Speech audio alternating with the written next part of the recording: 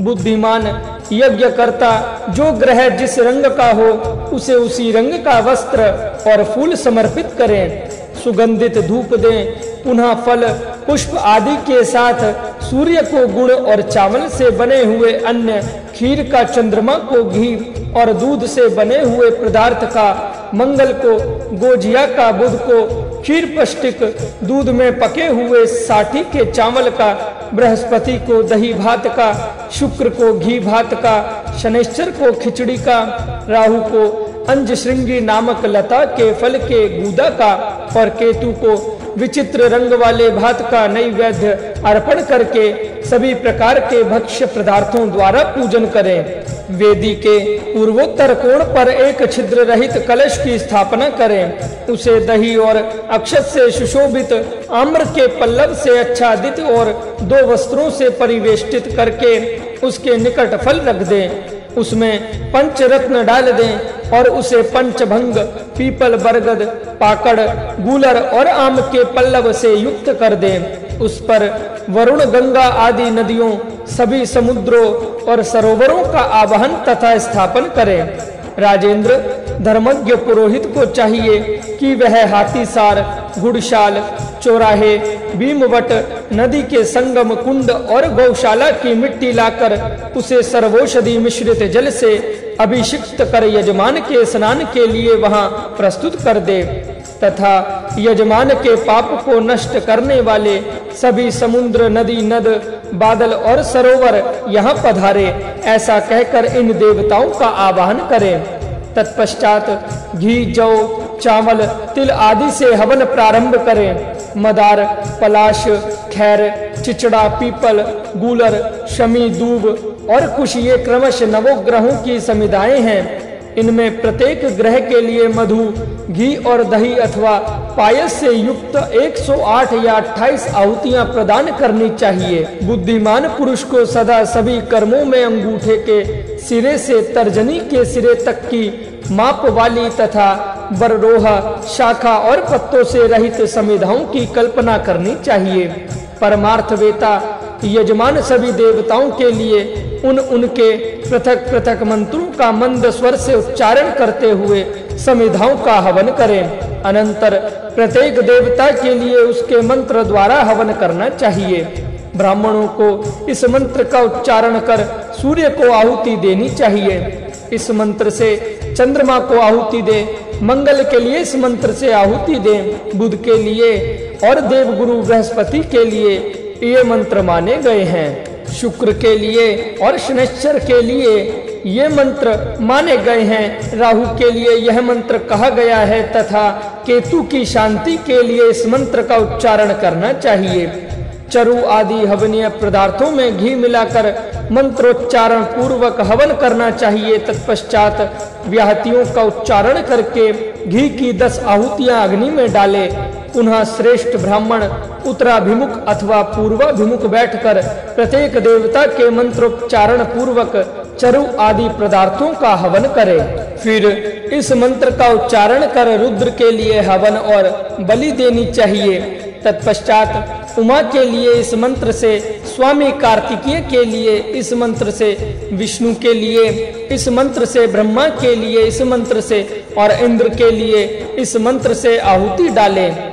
इस प्रकार यम के लिए इस मंत्र से हवन बतलाया गया है। काल के लिए यह मंत्र प्रशस्त माना गया है। अग्नि के लिए यह मंत्र बतलाया गया है। वरुण के लिए यह मंत्र कहा गया है। वेदों में पृथ्वी के लिए इस मंत्र का पाठ है। विष्णु के लिए यह मंत्र कहा जाता है। हवन समाप्त हो जाने पर चार ब्राह्मण अभिषेक मंत्रों द्वारा उसी जल पूर्ण कलश से पूर्व अथवा उत्तर मुख करके बैठे हुए यजमान का अभिषेक करें और ऐसा कहें, ब्रह्मा, विष्णु और महेश्वर, ये देवता आपका अभिषेक करें। जगदीश्वर वसुदेव, नंदन श्री कृष्ण सामर्थ्यशाली, संकर्षण, बलराम प्रदुम्न और अनिरुद्ध, ये सभी आपको विजय प्राप्त करें। इंद्र, अग्नि, ऐश्वर्यशाली, यम, वरुण, पवन, कुबेर, ब्रह्मा सहित शिव, शेष, नाग और दिक्पाल गण, ये सभी आपकी रक्षा करें।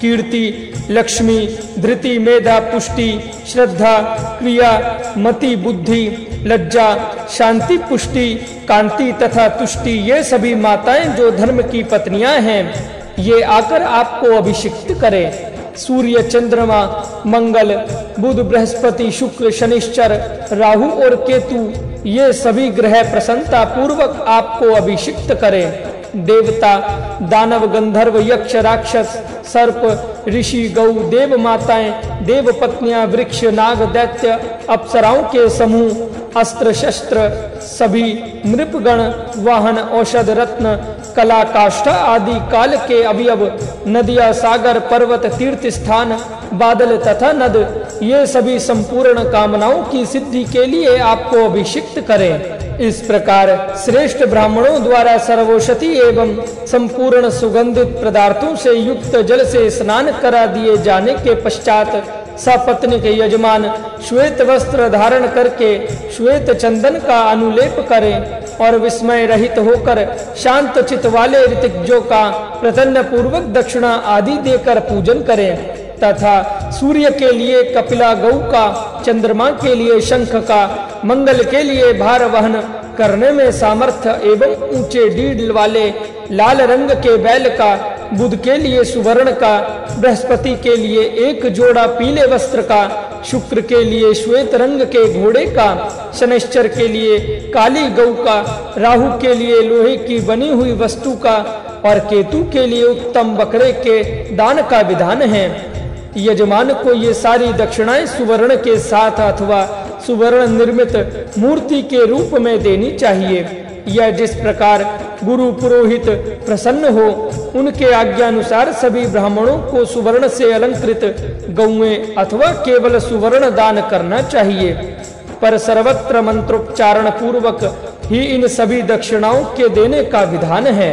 दान देते समय सभी देय वस्तुओं से पृथक पृथक इस प्रकार प्रार्थना करनी चाहिए। कपिले, तुम रोहिणी रूप हो, तीर्थ एवं देवता तुम्हारे स्वरूप हैं। तथा तुम संपूर्ण देवों की पूजनिया हो अथा मुझे शांति प्रदान करो।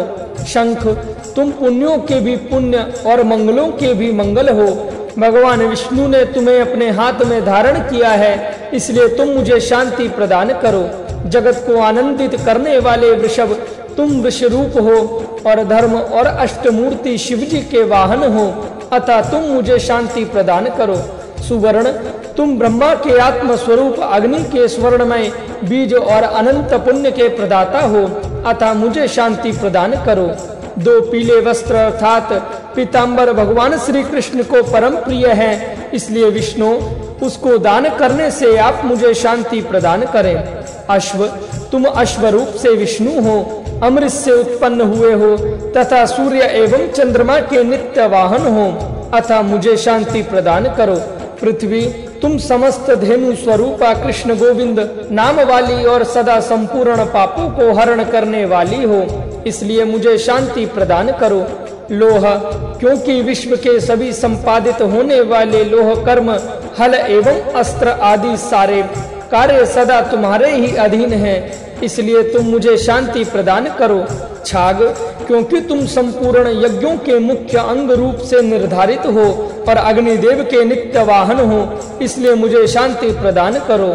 गौ क्योंकि गौओं के अंगों में चौदह भुवन निवास करते हैं, इसलिए तुम मेरे लिए इहलोक एवं परलोक में भी कल्याण प्रदान करो।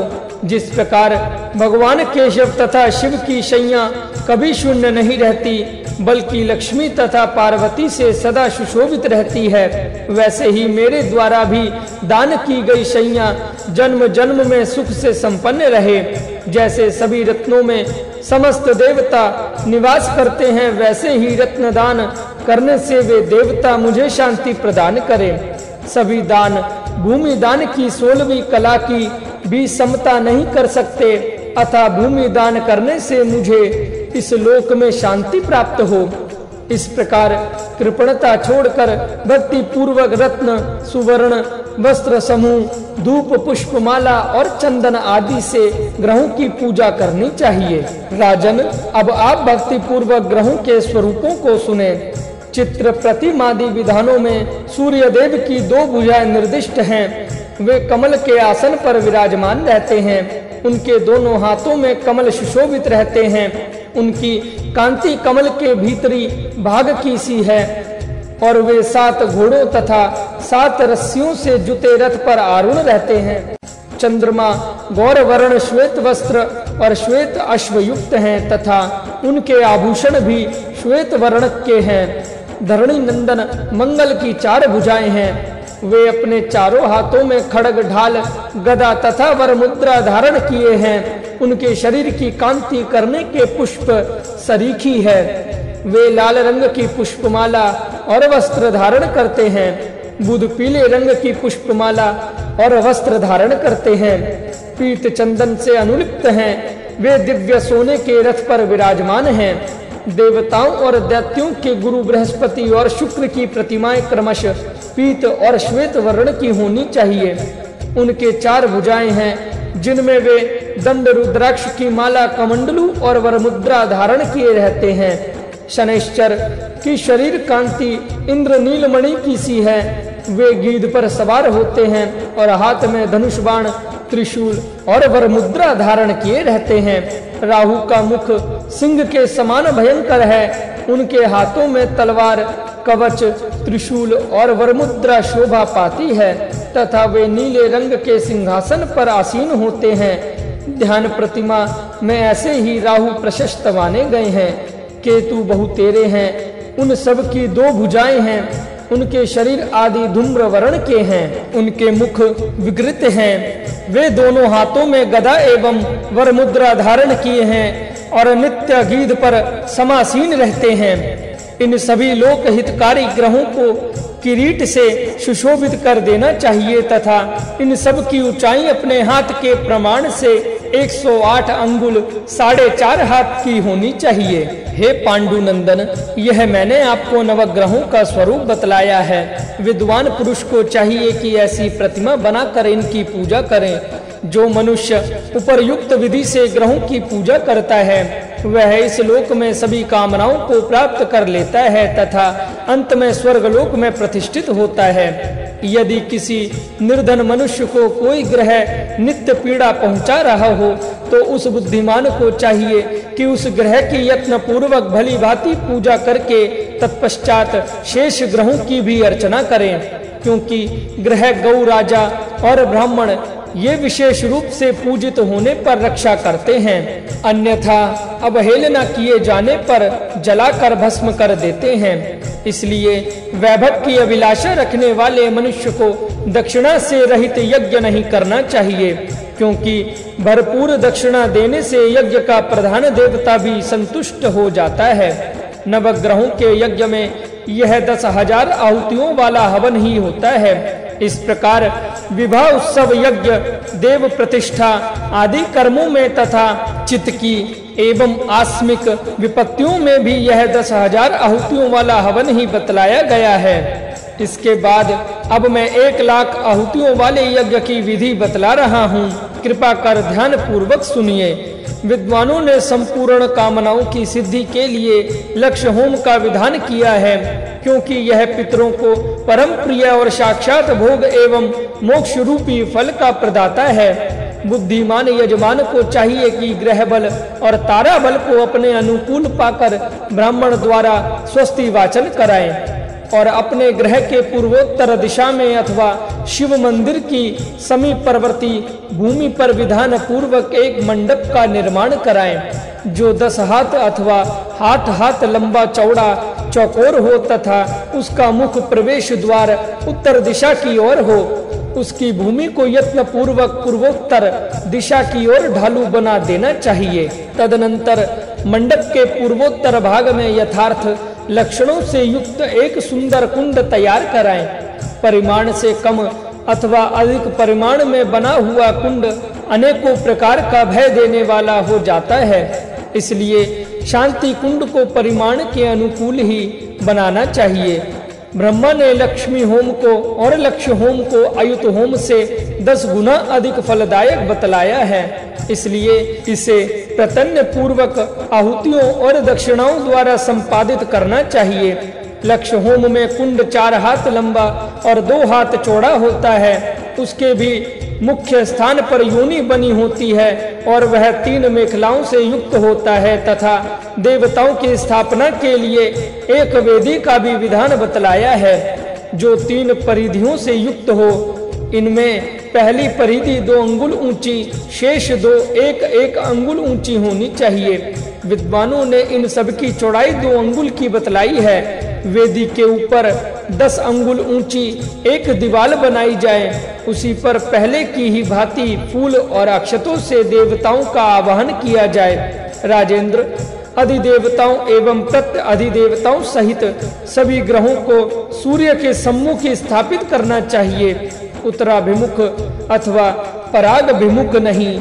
लक्ष्मी कामी मनुष्य को इस यज्ञ में सभी देवताओं के अतिरिक्त गरुण की भी पूजा करनी चाहिए। उस समय ऐसी प्रार्थना करनी चाहिए, गरुण, तुम्हारे शरीर से सामवेद की ध्वनि निकलती रहती है। तुम भगवान विष्णु के वाहन और नित्य विश्वरूप पाप को हरने वाले हो, अतः मुझे शांति प्रदान करो।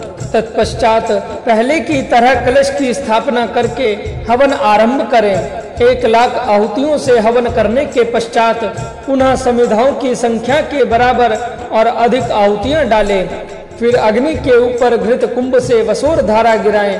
वसोर धारा की विधि यह है भुजा बराबर लंबी गूलर की लकड़ी से जो खोखली ना हो तथा सीधी एवं गीली हो, स्त्रुवा बनवाकर उसे दो खंभों पर रखकर उसके द्वारा अग्नि के ऊपर सम्यक प्रकार से घी की धारा गिराएँ।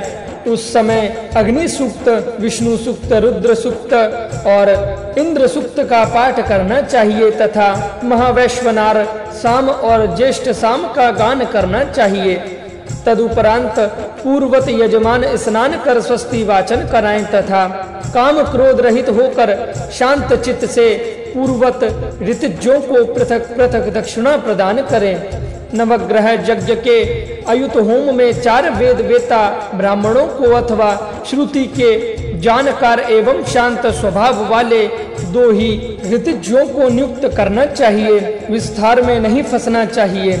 इसी प्रकार लक्ष्य होम में अपने सामर्थ्य के अनुकूल मत्स्य रहित होकर दस हाट अथवा चार ऋतुजों को नियुक्त करना चाहिए। पांडव श्रेष्ठ, सम्मतिशाली यजमान को यथाशक्ति, भक्ष्य पदार्थ, आभूषण, वस्त्रों सहित सैया स्वर्ण निर्मित कड़े, कुंडल और अंगूठी आदि सभी वस्तुएँ लक्ष्य होम में नवग्रह यज्ञ से दस गुनी अधिक देनी चाहिए। मनुष्य को कृपणतावश दक्षिणा रहित यज्ञ नहीं करना चाहिए। जो लोभ अथवा अज्ञान से भरपूर दक्षिणा नहीं देता, उसका कुल नष्ट हो जाता है। समृद्ध कामी मनुष्य को अपनी शक्ति के अनुसार अन्न का दान करना चाहिए, क्योंकि अन्न दान रहित किया हुआ यज्ञ दुर्भिक्ष रूप फल का दाता हो जाता है। अन्नहीन यज्ञ, राष्ट्र को मंत्रहीन यज्ञ, ऋतिज को और दक्षिणा रहित यज्ञ, यज्ञकर्ता को जलाकर नष्ट कर देता है। इस प्रकार विधिहीन यज्ञ के समान अन्य कोई शत्रु नहीं है। अल्प धन वाले मनुष्य को कभी लक्ष्य होम नहीं करना चाहिए, क्योंकि यज्ञ में दक्षिणा आदि के लिए प्रकट हुआ विग्रह सदा के लिए कष्टकारक हो जाता है। स्वल्प संपत्ति वाला मनुष्य केवल पुरोहित की अथवा दो या तीन ब्राह्मणों की भक्ति के साथ विधि पूर्वक पूजा करें अथवा एक ही वेदज्ञ ब्राह्मण की भक्ति के साथ दक्षिणा आदि से प्रतन्य पूर्वक अर्चना करें। बहुतों के चक्कर में ना पड़े और अधिक सम्मति होने से लक्ष्य होम करना चाहिए, क्योंकि यह अधिक लाभदायक है। इसका विधि पूर्वक अनुष्ठान करने वाला मनुष्य सभी कामनाओं को प्राप्त कर लेता है। वह 800 कल्पों तक शिवलोक में वसुगण आदित्य गण और मरुदगणों द्वारा पूजित होता है तथा अंत में मोक्ष को प्राप्त हो जाता है। जो मनुष्य किसी विशेष कामना से इस लोक और लक्ष्य होम को विधि पूर्वक संपन्न करता है, उसे उस कामना की प्राप्ति तो हो ही जाती है, साथ ही वह अविनाशी पद को भी प्राप्त कर लेता है। इसका अनुष्ठान करने से पुत्रार्थी को पुत्र की प्राप्ति होती है तथा धन आर्थी को धन लाभ होता है। भार्यार्थी सुंदर पत्नी कुमारी कन्या सुंदर पति राज्य से भ्रष्ट हुआ राज्य, राजा और लक्ष्मी का अभिलाषी लक्ष्मी प्राप्त करता है। इस प्रकार मनुष्य जिस वस्तु की अभिलाषा करता है, उसे वह प्रचुर मात्रा में प्राप्त हो जाती है। जो निष्काम भाव से इसका अनुष्ठान करता है, वह पर ब्रह्म को प्राप्त हो जाता है। कोटि होम का विधान भगवान श्री कृष्ण कहते हैं, महाराज, प्राचीन काल में प्रतिष्ठान पैठड़ नामक नगर में सनवर्ण नाम के एक महान भाग्यशाली राजा थे। वे सभी शास्त्रों में निपुण ब्रह्म तत्व के ज्ञाता, पितृभक्त तथा देव ब्राह्मण के उपासक थे। एक समय की बात है, ब्रह्मा जी के पुत्र महायोगी सनक राजा सनवरण के पास आए। उन्हें देखकर राजा बहुत प्रसन्न हुए और उन्होंने मुनि को आसन देकर प्रणाम किया तथा अर्घपाद्य आदि से उनका सत्कार कर अपना राज्य और स्वयं को भी उनके लिए समर्पित किया। मुनि ने भी राजा द्वारा किए गए अभिनंदन और अभिवादन को और सत्कार को स्वीकार किया। उसके बाद ब्रह्म ऋषि सनक ने अनेक राजाओं, महाराजाओं के चरित्र और इतिहास पुराण आदि की कथाएँ उन्हें सुनाई। राजा कथा सुनकर आत्मविभोर हो उठे। इसी अवसर पर राजा सनवरण ने जगत के प्राणियों के हित की दृष्टि से सनक जी से प्रार्थना करते हुए कहा, देव ऋषि भूकंप उपल वृष्टि ग्रह युद्ध अनावृष्टि, राज्योपद्रव आदि उत्पातों की शांति के लिए कोई उपाय बतलाने की कृपा करें, जिससे कि धन धान्य की वृद्धि, आरोग्य, सुख और स्वर्ग की प्राप्ति हो। राजा सनवरण की प्रार्थना को सुनकर सनक जी ने कहा, राजन, सभी कार्यों की सिद्धि करने वाले शांति प्रद कोटि होम की विधि बता रहा हूँ। जिसके करने से ब्रह्म हत्या आदि पातक छूट जाते हैं, सभी उत्पात शांत हो जाते हैं, साथ ही आरोग्य एवं सुख की भी प्राप्ति होती है। इसका विधान इस प्रकार है। सबसे पहले शुद्ध मुहूर्त देखकर देवालय नदी के तट पर वन में अथवा घर में कोटि होम करना चाहिए। सर्वप्रथम वेद वेता ब्राह्मण का वर्ण कर गंध अक्षत पुष्पमाला, वस्त्र आभूषण आदि से उनका पूजन कर इस प्रकार प्रार्थना करनी चाहिए। विप्र श्रेष्ठ आप ही हम लोगों के माता पिता हैं, आप ही हमारे आश्चर्य हैं और आप ही गति हैं। आपके अनुग्रह से हमारे सभी मनोरथ परिपूर्ण हो जाएँ। आपत्ति से छुटकारा प्राप्त करने के लिए तथा सार्वकामिक शांति प्राप्त करने के लिए आप कोटि होम नामक उत्तम यज्ञ करा दें आचार्य को भी श्वेत वस्त्र आदि से अलंकृत होकर विद्वान ब्राह्मणों के साथ पुण्य हवाचन करना चाहिए पूर्व और उत्तर की ओर ढाल युक्त समतल भूमि पर बने हुए मंडप को ब्राह्मण सूत्र द्वारा घेर दें। मंडप का प्रमाण इस प्रकार है। 100 हाथ विस्तार का मंडप, उत्तम 50 हाथ का मध्यम तथा 25 हाथ का मंडप निकृष्ट है। किंतु शक्ति और सामर्थ्य के अनुसार ही मंडप बनाकर उसके बीच में आठ हाथ लंबा चौड़ा, तीन मेखला से युक्त, बारह अंगुल से विस्तार युक्त, योनि सहित एक चौरस कुंड बनाना चाहिए। कुंड के पूर्व दिशा में चार हाथ लंबी चौड़ी वेदी बनाए, जो एक हाथ ऊँची हो, उसमें सभी देवताओं को स्थापित करें। मंडप की भूमि को गोबर मिट्टी से अच्छी तरह लीप कर पंच पल्लवों से सुचित जलपूर्ण चौदह कलशों को स्थापित करना चाहिए। मंडप के ऊपर वितान और तोरण लगाने चाहिए और सब सामग्री एकत्रित कर पुण्य हवाचन स्वस्ति वाचन जय शब्द पूर्वक शुद्ध दिन से पुरोहित को हवन प्रारंभ करना चाहिए। मंडप के पूर्व में ब्रह्मा, मध्य में विष्णु, पश्चिम में रुद्र, उत्तर में वसु, ईशान में ग्रह, अग्नि कोण में मरुत और शेष दिशाओं में लोकपालों की वेदियों पर स्थापना करें। गंध, अक्षत, पुष्प, धूप, दीप, नैवेद्य आदि से वैदिक और पौराणिक मंत्रों द्वारा सबका अलग अलग पूजन और प्रार्थना करें। इसके पश्चात वेद पाठी ब्राह्मणों सहित विधान पूर्वक कुंड का संस्कार करें। कुंड में अग्नि प्रज्वलित कर उस अग्नि का नाम धृतार्चिष रखें। विद्या वृद्ध वयोवृद्ध, गृहस्थ, जितेंद्रिय स्वर्ग कर्मनिष्ठ शुद्ध और ज्ञान शक्ति संपन्न 100 ब्राह्मणों को हवन के लिए नियुक्त करें। अथवा जिस संख्या में उत्तम ब्राह्मण उपलब्ध हो, उनका ही वर्ण करना चाहिए। इसके बाद पंचमुख अग्नि का ध्यान करना चाहिए। नाम सहित उनकी सात जिब्बाओं की पूजा करनी चाहिए। धुआँ युक्त अग्नि में हवन करना व्यर्थ होता है, इसलिए प्रज्वलित अग्नि में ही हवन करना चाहिए। ऋग्वेदी ब्राह्मणों को पूर्वाभिमुख, यजुर्वेदियों को उत्तराभिमुख, सामवेदी को पश्चिमाभिमुख और अथर्वेदी को दक्षिणाभिमुख बैठकर आघार और आज्य भाग की आहुतियाँ देनी चाहिए। पहले ब्रह्मा का स्थापन कर इस कर्म को आरंभ करना चाहिए। आदि में प्रणव लगाकर अंत में स्वाहा शब्द का उच्चारण कर व्याहतियों से हवन करना चाहिए। घी, काला तिल तथा जौ मिलाकर पलाश की समिधाओं से कोटि होम करना चाहिए। एक हज़ार आहुति पूर्ण होने पर पूर्ण आहुति करनी चाहिए। पुनः उसी प्रकार हवन करना चाहिए और इस विधि से कोटि होम करना चाहिए।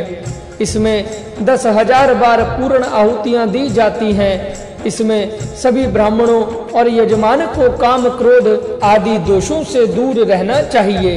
कोटि होम की विधि को सुनकर राजा सनवरण ने कहा कि, महर्षि, इस कोटि होम में बहुत अधिक समय लगेगा। इतने दिन तक संयम से रहना बहुत ही कठिन कार्य है। इसलिए कृपा कर आप कोटि होम की संक्षिप्त विधि बतलाने का कष्ट करें। जिससे कम समय में यह निर्विघ्न पूर्ण हो जाए। राजा के इस प्रकार के वचन को सुनकर सनक मुनि ने कहा, राजन, कोटि होम चार प्रकार का होता है। शतमुख, दशमुख, द्विमुख और एक मुख समय अनुसार इन चारों में से जो भी होम हो, सके वही करना चाहिए। एक हाथ प्रमाण वाले उत्तम 100 कुंड बनाकर प्रत्येक कुंड पर एक एक ब्राह्मण को अथवा समय कम रहने पर प्रत्येक कुंड पर 10-10 ब्राह्मणों को हवन के लिए नियुक्त करें। एक कुंड में अग्नि का संस्कार कर, उसी अग्नि को अन्य कुंडों में भी प्रज्वलित करना चाहिए। इस विधि द्वारा जो हवन किया जाता है, उससे एक ही कोटि होम होता है, जो शतमुख होम कहलाता है। यदि समय का अभाव न हो तो दस कुंड बनाकर, प्रत्येक कुंड पर बीस बीस ब्राह्मण हवन के लिए नियुक्त करने चाहिए। यह दशमुख नामक कोटि होम है। यदि महीने में दो महीने या समय हो तो कुंड बनाकर, प्रत्येक कुंड पर 50-50 ब्राह्मणों को हवन के लिए आमंत्रित करना चाहिए। यह द्विमुख कोटि होम है। अधिक से अधिक समय हो तो एक कुंड में अग्नि स्थापन कर उत्तम कुलोत्पन्न वेद वेता सदाचारी ब्राह्मणों से हवन कराना चाहिए। इस हवन में ब्राह्मणों की संख्या का कोई नियम नहीं और समय की सीमा भी निश्चित नहीं है। यह एक मुख कोटि होम स्वेच्छा यज्ञ कहलाता है। इस स्वेच्छा यज्ञ में बहुत समय लगता है और बीच में अनेक प्रकार के विघ्न भी उत्पन्न हो जाते हैं। धन और शरीर की स्थिरता का कुछ भी भरोसा नहीं है। इसलिए संक्षेप से ही यज्ञ करना चाहिए। यह संपन्न कर अच्छी प्रकार से महोत्सव मनाना चाहिए। सभी ब्राह्मणों को कटक, कुंडल, वस्त्र, दक्षिणा 100 गायें 100 घोड़े और सुवर्ण आदि प्रदान करने चाहिए तथा पुरोहित की पूजा करनी चाहिए। दीनों, अंधों तथा कृपणों आदि को भोजन देकर अंत में कलशों के जल से अवैभृत स्नान करें। और ब्राह्मण यजमान का अभिषेक करें। इस विधि से जो राजा यह व्यक्ति कोटि होम करता है, वह आरोग्य, पुत्र राज्य वृद्धि ऐश्वर्य धन धान्य प्राप्त कर सभी प्रकार से संतुष्ट रहता है, तथा उसको ग्रह पीड़ा भी नहीं भोगनी पड़ती। राज्य में अनावृष्टि, उत्पात, महामारी, दुर्भिक्ष आदि कभी नहीं होते। सभी तरह के पाप और ग्रहों की पीड़ा को दूर करने वाला शांतिदायक यह कोटि होम है। इसको करने वाला व्यक्ति इंद्रलोक को प्राप्त कर लेता है। महाशांति विधान। भगवान श्री कृष्ण कहते हैं, राजन, अब मैं भगवान शंकर द्वारा कही गई महाशांति का विधान बतलाता हूँ। यह राजाओं के लिए कल्याणकारी है तथा भयंकर विघ्नों को दूर करने वाली है। इस महाशांति को राजा के अभिषेक यात्रा तथा दुस्वप्न के समय दुर्निमित्त में, ग्रहों की प्रतिकूलता में, बिजली और उल्का के गिरने पर जन्म नक्षत्र में, केतु के उदय होने पर, पृथ्वी, कंपन और प्रसूति काल में मूल गंडांत में, मिथुन संतति के उत्पत्ति काल में, राजा के छत्र अथवा ध्वज के अपने स्थान से पतन के समय, काक, उल्लूक और कबूतर के घर में प्रवेश करने पर, क्रूर ग्रह की दृष्टि पड़ने पर। या जन्म के समय क्रूर ग्रहों के योग होने पर लग्न कुंडली में द्वादश चतुर्थ और अष्टम स्थान में बृहस्पति, शनि, सूर्य एवं मंगल के स्थित होने पर तथा युद्ध के समय वस्त्र, आयुध, मणि, केश, गौ, अश्व के विनाश के समय रात्रि में इंद्रधनुष दिखाई पड़ने पर घर के तुला भंग के समय तथा सूर्य और चंद्र ग्रहण आदि के समय में यह माँ शांति प्रशस्त मानी गई है। इसके करने से सभी दुर्निर्मित शांत हो जाते हैं। पांडव उत्तम कुल में उत्पन्न तथा शील संपन्न वैदिक ब्राह्मणों से इस महाशांति को कराना चाहिए।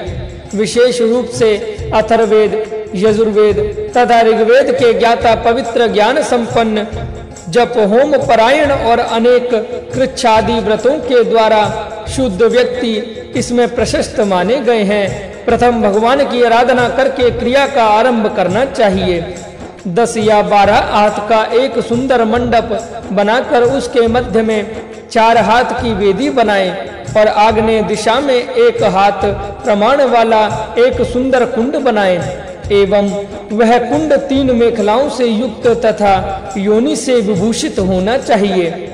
मंडप को चंदन, माला, तोरण आदि से अलंकृत कर गोबर से लीपना चाहिए। मंडप में वेदी के ऊपर आग्ने आदि कोणों में क्रमश चार और बीच में पांचवा कलश स्थापित करना चाहिए।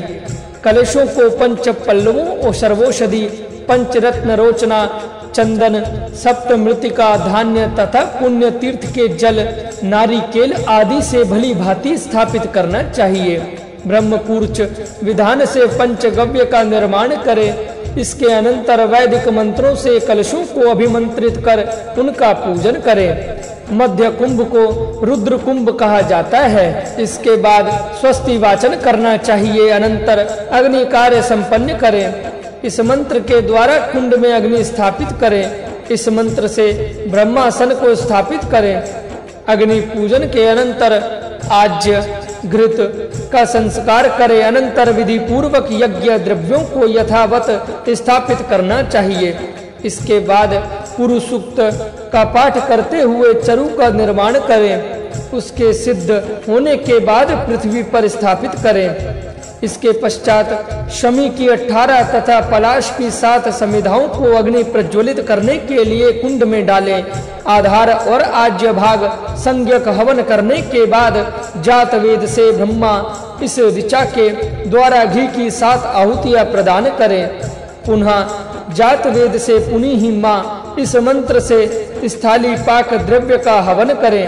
तदनंतर इस सूक्त से चार बार हवन करें। इसके बाद इस मंत्र से स्व शब्द का प्रयोग कर सात आहुतियाँ दें। तदनंतर इस मंत्र से सात बार आहुतियाँ प्रदान करें। फिर नक्षत्रों के लिए बीस आहुतियाँ दें। अनंतर इसके द्वारा हवन करने के बाद सुष्टकृत हवन करें। तदनंतर घृत सहित तिल से ग्रह होम करें। इसके बाद प्रायश्चित निमित्त तक हवन करके होम कर्म को समाप्त करें। तदनंतर श्रेष्ठ द्विज यजमान के दुर्निमित की शांति के लिए पाँच कलशों के जल से मंत्रों के द्वारा यथा कर्म अभिषेक करें। इस मंत्र से प्रथम कलश के जल से, द्वारा द्वितीय कलश के जल से, इस मंत्र से तृतीय कलश के जल से, इस मंत्र से चतुर्थ कलश के जल से तथा इस मंत्र से पंचम कलश के जल से अभिषेक करें। इसके बाद इस मंत्र से दिशाओं को बलि नैवेद्य प्रदान करें। यजमान के स्नान करने के समय ब्राह्मण गण शांति का पाठ करें। चारों ओर शांति जल से जल की धारा गिराएँ। अंत में पुण्य हवाचन पूर्वक शांति कर्म को संपन्न करें। ब्राह्मणों को यथाशक्ति, भूमि, सुवर्ण, वस्त्र संया आसन एवं दक्षिणा दें। दीन अनाथ विशिष्ट श्रोत्रियों को भी भोजन आदि प्रदान करना चाहिए। ऐसा करने से आयु की वृद्धि और शत्रु पर तक्षण विजय प्राप्त होती है, तथा पुत्र लाभ होता है। जैसे शस्त्रों का प्रहार कवच से हट जाता है, वैसे ही देवी विघ्न भी इस शांति कर्म से दूर हो जाते हैं। अहिंसक इंद्र संयमी धर्म से धन अर्जित करने वाला, दया और दक्षिणा से युक्त व्यक्ति के लिए सभी ग्रह अनुकूल हो जाते हैं। विनायक शांति। महाराज युधिष्ठिर ने कहा, देवेश, अब आप विनायक शांति की विधि मुझे बताइए, जिसके करने से सभी मानव समस्त आपत्तियों से मुक्त हो जाते हैं। भगवान श्री कृष्ण बोले, राजेंद्र, विनायक के प्रिय श्रेष्ठ कांति का और शांति का मैं वर्णन करता हूँ। इसके आचरण से सभी अरिष्ट नष्ट हो जाते हैं। यह विनायक शांति संपूर्ण विघ्नों को दूर करने के लिए की जाती है। स्वप्न में, जल में अवगाहन करना, मुंडित सिरों तथा गेरुआ वस्त्र को देखना, मस्तक रहित शव बिना किसी कारण के ही दुखी होना, कार्य में असफल हो जाना इत्यादि विनायक द्वारा ग्रहित होने पर ही दिखाई देते हैं। विनायक द्वारा ग्रहित हो जाने पर राजपुत्र राज्य को प्राप्त नहीं कर सकता, कुमारी पति नहीं प्राप्त कर सकती, गर्भणी पुत्र को और श्रोत्रिय आचार्यत्व को प्राप्त नहीं कर पाता, विद्यार्थी पढ़ नहीं पाता, व्यापारी व्यापार में लाभ नहीं पाता और कृषिक कृषि कार्य में सफल नहीं होता। इसलिए इन विघ्नों को दूर करने के लिए पुण्य दिन में स्वप्न कार्य करना चाहिए। पीले सरसों की खली घृत और सुगंधित कुमकुम का उपटन लगाकर स्नान कर पवित्र हो जाए। ब्राह्मणों द्वारा स्वस्ति वाचन कराएँ। विधि पूर्वक कलश स्थापन करें और ब्राह्मण अभिमंत्रित जल के द्वारा यजमान का अभिषेक करें और इस प्रकार कहें, मैं तुम्हें अभिषिक्त कर रहा हूँ। पावमानी ऋचाओं की अधिष्ठा देवता तुम्हें पवित्र करें। महाराज वरुण भगवान, सूर्य बृहस्पति, इंद्र, वायु तथा सप्त ऋषिगण अपना अपना तेज तुम में आधान करें। तुम्हारे केशों, सीमंत, मस्तक, ललाट, कानों एवं आँखों में जो भी दुर्भाग्य है, उसको ये अप देवता नष्ट करें। अनंतर कुशा को दक्षिण हाथ में ग्रहण कर सरसों के तेल से हवन करें। मित, सम्मित, साल काल कंटक कुष्मांड तथा राजपुत्र के अंत में स्वाहा समन्वित कर हवन करें। चतुष्पथ पर कुश बिछाकर सूप में इनके निमित्त बलि नैवेद्य अर्पण करें। खिले हुए फूल तथा दूरवा से अर्घ दे।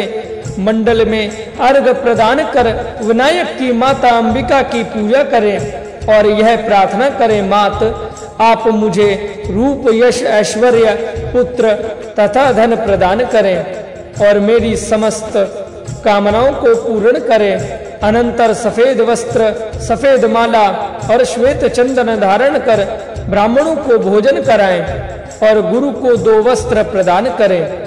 इस प्रकार ग्रहों की और विनायक की विधि पूर्वक पूजा करने से संपूर्ण कर्मों के फल की प्राप्ति होती है। और लक्ष्मी की भी प्राप्ति होती है। भगवान सूर्य, कार्तिकीय एवं महागणपति की पूजा करके मनुष्य सभी सिद्धियों को प्राप्त कर लेता है। नक्षरार्चन विधि, रोगावली चक्र। भगवान श्री कृष्ण कहते हैं, राजन, एक बार कौशिक मुनि अग्निहोत्र करने के बाद सुखपूर्वक बैठे हुए थे। उसी समय महर्षि गर्ग ने उनसे पूछा, ब्राह्मण बंदी गृह में निरुद्ध हो अथवा विषम, परिस्थितियों में अवरुद्ध, दस्यु, शत्रु या हिंस, पशुओं से घिरा हो तथा व्याधियों से पीड़ित हो तो ऐसे व्यक्ति की कैसे मुक्ति हो सकती है? इसे आप मुझे बतलाएँ। कौशिक मुनि बोले, गर्भाधान के समय जन्म नक्षत्र में मृत्यु संबंधी ज्ञान होने पर जिसको रोग व्याधि उत्पन्न हो जाती है, उसे कष्ट तो होता ही है। उसकी मृत्यु भी संभव है। यदि कृतिका नक्षत्र में कोई व्याधि होती है तो वह पीड़ा नौ रात तक बनी रहती है। रोहिणी में तीन रात तक, मृगशिरा में पाँच रात तक और यदि आद्रा में रोग उत्पन्न हो तो वह व्याधि प्राण वियोगनी होती है। पुनर्वसु और पुण्य नक्षत्र में सात रात, आश्लेषा में नौ रात, मघा में बीस दिन पूर्वा फागुनी में दो मास, उत्तरा फागुनी में तीन पक्ष, पैंतालीस दिन हस्त में स्वप्न पालिक पीड़ा, चित्रा में आधे मास, स्वाति में दो मास, विशाखा में बीस दिन, अनुराधा में दस दिन, ज्येष्ठा में आधे मास और मूल में मृत्यु हो जाती है। पूर्वाक्षाण में पंद्रह दिन, उत्तराक्षाण में बीस दिन, श्रावण में दो मास, धनिष्ठा में आधा मास, शतभिषा में दस दिन पूर्वा भाद्रपद में नौ दिन, उत्तरा भाद्रपद में पंद्रह दिन, रेवती में दस दिन तथा अश्वनी में एक दिन रात कष्ट होता है। मुने, कुछ विशिष्ट नक्षत्रों में व्याधि उत्पन्न होने पर मनुष्य के प्राण तक भी चले जाते हैं। इसमें संदेह नहीं, इसकी विशेष जानकारी के लिए ज्योतिषियों से भी परामर्श करना चाहिए। रोग के प्रारंभिक नक्षत्र का ज्ञान हो जाने पर उस नक्षत्र के अधिदेवता के निमित्त निर्दिष्ट द्रव्यों द्वारा हवन करने से रोग व्याधि की शांति हो जाती है। व्याधि नक्षत्र के किस चरण में उत्पन्न हुई है, इसका ठीक पता लगाकर आपत्तिजनक स्थितियों में व्याधि से मुक्ति के लिए उस नक्षत्र के स्वामी के मंत्रों से अभिष्ट समिधा द्वारा हवन कराना चाहिए। अश्वनी नक्षत्र में क्षीरी, दूध वाले वट पीपल, खरीनी आदि वृक्षों की समिधा से अश्वनी कुमारों के मंत्रों से हवन करना चाहिए।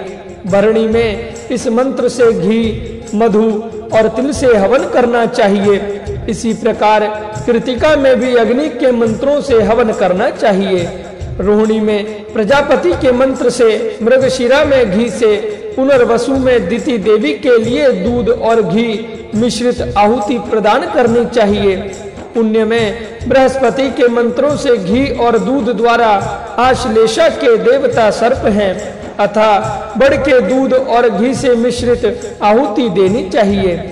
इसी प्रकार स्वाति मूल आदि सभी नक्षत्रों में घी मिश्रित आहुति देनी चाहिए। मुने ब्रह्मा जी ने यह बतलाया है कि विधि पूर्वक गायत्री मंत्र द्वारा भी प्राय एक सहस्त्र घृत की आहुति देने पर संपूर्ण ज्वरों एवं व्याधियों का संध्य उपशमन हो सकता है, क्योंकि गायत्री का अर्थ ही है कि गान हवन पूजन द्वारा त्राण करने वाली अपराध शत शमन व्रत। महर्षि वशिष्ठ जी ने राजा इच्छवाकु से कहा, राजन, अब आपको एक व्रत बतला रहा हूँ। जिससे महाफल की प्राप्ति होती है और सैकड़ों दोष पापों का शमन हो जाता है। राजा इच्छवाकु ने पूछा, ब्राह्मण, मुख्य रूप से सो अपराध या दोष पाप कौन कौन है और वह व्रत कौन सा है जिसके अनुष्ठान मात्र से उनकी शांति हो जाती है? इस व्रत में किस देवता की पूजा होती है और किस समय यह व्रत किया जाता है आप बतलाने की कृपा करें। महर्षि वशिष्ठ बोले महाभाव अपराध शत शमन व्रत को सुनो, जिसका अनुष्ठान करने मात्र से मनुष्य को सभी प्रकार की कामनाएँ और मुक्तियाँ प्राप्त हो जाती हैं। कृत अकृत सभी गुरुतर पाप रुई की राशि के समान जलकर भस्म हो जाते हैं। राजन, अब आप इन अपराधों के नाम और लक्षणों को सुने। अनाश्रमित्व। चारों आश्रमों में बाहर रहकर स्वच्छंद, नास्तिक वृत्ति, अपनाना, अग्निकृता, अग्निहोत्र, हवन आदि सभी कार्यों का परित्याग, व्रतहीनता, कोई भी सत्य, ब्रह्मचर्य और एकादशी आदि व्रतों का पालन न करना अदातृत्व कभी कभी कुछ भी अन्य धन या आशीर्वाद आदि ना देना, अशोच, निर्दयता, लोभ क्षमाशीलता जन पीड़ा प्रपंच में पड़ना अमंगल व्रतभंग नास्तिकता वेद निंदा कठोरता, असत्यता, हिंसा, चोरी, इंद्रिय, परायणा, मन को वश में ना रखना, क्रोध, इंद्रिय, द्वेष, दंभ शठता धूर्ता कुटुंब भाषणा प्रमाद, स्त्री, पुत्र, माता आदि का पालन न करना, अपूज्य की पूजा करना, श्राद्ध का त्याग जप न करना बलि वैश्वदेव तथा पंच यज्ञ का त्याग, संध्या तर्पण, हवन आदि नित्य कर्मों का परित्याग, अग्नि का बुझाना ऋतु काल के बिना ही स्त्री संपर्क, पूर्व आदि में स्त्री सहवास, चुगली दूसरे की स्त्री के साथ गमन वैश्या गामिता अपात्र को दान देना, अल्पदान, अंत्य संग, माता पिता की सेवा न करना, सबसे झगड़ा करना पुराण और स्मृतियों का अनादर करना, अभक्ष्य भक्षण, स्वामी द्रोह बिना विचारे कार्य करना, कृषि कार्य करना, भार्य संग्रह मन पर विजय ना प्राप्त करना, विद्या की विस्मृति, शास्त्र का त्याग करना, ऋण लेकर वापस न करना, चित्र कर्म करना, सदा कामनाओं का दास होना, भार्य पुत्र एवं कन्या आदि का विक्रय करना, पशु, मैथुन, इंधुनार्थ, वृक्ष काटना, बिलों में पानी आदि डालना, तड़ाग आदि के जल को दूषित करना, विद्या का विक्रय, स्मृति का परित्याग याचना कुमित्रता स्त्री वध गौ वध मित्र वध भ्रूण, हत्या, पौरोहित्य। दूसरे का अन्न और शूद्र के अन्न को ग्रहण करना, शूद्र का अग्नि कार्य संपन्न करना विधि विहीन कर्म का निष्पादन, कुपुत्रता विद्वान होने पर याचना करना, वाचालता प्रतिग्रह, लेना श्रोत, संस्कारहीनता आत्र व्यक्ति का दुख दूर करना, ब्रह्महत्या, सुरापान स्वर्ण चोरी गुरु पत्नी गमन तथा पातकियों के साथ संबंध स्थापित करना ये अपराध है। अन्य तत्ववेताओं ने भी विविध प्रकार के अपराधों को कहा है। अनध भगवान सत्येश की पूजा करने से तक्षण सभी प्रकार के अपराध नष्ट हो जाते हैं। मनुष्यों द्वारा व्रत और पूजन करने से भगवान स्वयं उसके वश में हो जाते हैं। हे जगतपति भगवान विष्णु लक्ष्मी के साथ सत्य रूपी ध्वज के ऊपर स्थित रहते हैं। इनके पूर्व में वामदेव, दक्षिण में नरसिंह भगवान, पश्चिम में भगवान कपिल, उत्तर में वराह भगवान तथा ऊर्ध्व में अच्युत स्थित रहते हैं। इन्हें ही ब्रह्म पंचक जानना चाहिए, ये ही सत्येश हैं। इन्हीं की सदैव पूजा करनी चाहिए। ये सत्येश भगवान पद्म कोमोद की गदा पांचजन्य शंख तथा सुदर्शन चक्र धारण किए रहते हैं। इनके चरण कमल के अर्घ भाग से पवित्र गंगा का प्रादुर्भाव हुआ है। इनकी आठ शक्तियाँ हैं, जिनके नाम इस प्रकार हैं। जया, विजया जयंती, पापनाशिनी, उन्मीलनी, वंजुली त्रिस्पर्शा और विवर्धना। वे भगवान हरि शुक्लाम्बरधारी सौम्य प्रसन्न मुख, सभी आभरणों से युक्त, शोभा यमान और भुक्ति मुक्ति प्रदाता हैं। राजन, उनकी जिस विधि से प्रतन्य पूर्वक पूजा करनी चाहिए, उसे आप सुने। मार्गशीर्ष आदि बारह मासों में द्वादशी अमावस्या अथवा अष्टमी के दिन शुक्ल या कृष्ण पक्ष का विचार किए बिना शुद्ध होकर उपवास पूर्वक व्रत करना चाहिए। शुक्ल और कृष्ण दोनों पक्षों में जनार्दन की पूजा करने का संकल्प लेना चाहिए। इस प्रकार नियम ग्रहण करके दंत धावन पूर्वक तड़ाग, पुष्कर अथवा घर पर ही स्नान कर नित्य नैमित्तिक कर्म करने चाहिए। एक पल सुवर्ण के मान से लक्ष्मी सहित सत्येश की प्रतिमा बनवाएँ, जो अष्ट शक्तियों से समन्वित पद्मासन पर स्थित हो। दूध से पूरित कुंभ पर स्थित सुवर्ण पद्म के ऊपर उस प्रतिमा को स्थापित करें। उस पद्म की कर्णिकाओं पर देवादि देव की आठ शक्तियों की पूजा करें। अनंतर भगवान सत्येश विष्णु और सत्या लक्ष्मी की विधिवत विविध पाद्य आदि उपचारों से पूजा करें। अनंतर इस प्रकार प्रार्थना करें। अनंतर अपनी शक्ति के अनुसार ब्राह्मण को दान देकर व्रत का समापन करना चाहिए। इस व्रत को दोनों पक्षों में करें और वर्ष पूरा होने पर उद्यापन करें। ब्राह्मण से प्रार्थना करें कि हे ब्राह्मण देवता, मेरे सभी पाप दूर हो जाएँ। ब्राह्मण कहें, आपके सभी पाप एवं दुख दूर हो जाएँ। तदनंतर ब्राह्मण को वह मूर्ति समर्पित कर समापन करना चाहिए। राजन, ब्रह्मा जी ने कहा है कि इस व्रत को करने से अनंत फल की प्राप्ति होती है। जो फल सभी वेदों के अध्ययन से और सभी तीर्थों में भ्रमण करने से प्राप्त होता है उससे कोटि गुना फल इस व्रत के आचरण से होता है।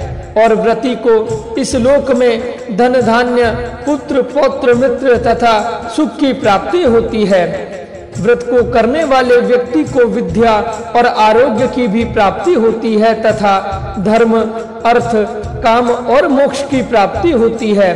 इसमें कोई संदेह नहीं है जो इसको पढ़ता अथवा सुनता है, उसके भी सभी पाप दूर हो जाते हैं। कांचन पुरी व्रत कथा। भगवान श्री कृष्ण कहते हैं, महाराज, एक बार विश्व के उत्पत्ति, पालन और संहार कारक अक्षर पुरुषोत्तम भगवान विष्णु श्वेत द्वीप में सुखपूर्वक बैठे हुए थे। उसी समय जगन माता लक्ष्मी ने उनके चरणों में पंचांग प्रणाम कर उनसे पूछा, भगवान आप भक्तों पर अनुकंपा करने वाले हैं। महाभाग, मुझ पर भी दया करके आप कोई ऐसा रूप सौभाग्यदायक सर्वोत्तम व्रत बतलाएँ, जिसके आचरण से समस्त तीर्थ आदि पुण्य कर्मों का फल प्राप्त हो जाए।